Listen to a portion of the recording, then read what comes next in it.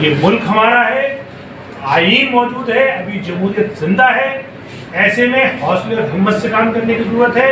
सिर्फ़ ये है कि अब आपको जमहूरी निज़ाम में जमहूरी एक ताकत बनना है, सियासी ताकत बनना सियासी ताकत बनने के लिए आपको सियासी तौर पर मुतहद होना पड़ेगा। सियासी तौर पर मुतहद होने का मतलब ये है कि अपने परचम, अपनी क्यादत के नीचे आपको आना पड़ेगा।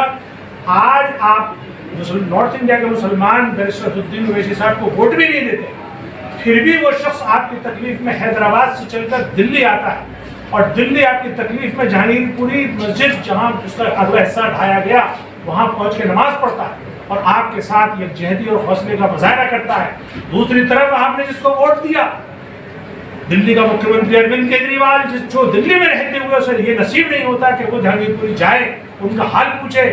और सितम उसका ये देखिए कि वो पहला ट्वीट करता है तो ये कहता है कि पत्थरबाजों के खिलाफ सख्त कार्रवाई होनी चाहिए। यानी मुसलमानों के खिलाफ सख्त कार्रवाई होनी चाहिए। उसी को लेकर दिल्ली पुलिस ने एकदम चौदह मुसलमान गिरफ़्तार करती है उसका पाँच पहले से लगा देती है फिर जब उसकी बुलडोजर तोड़ते हैं, वहाँ पर मुसलमानों घर ढाते हैं, तब उनका एक प्रवक्ता राघव चड्डा आता है।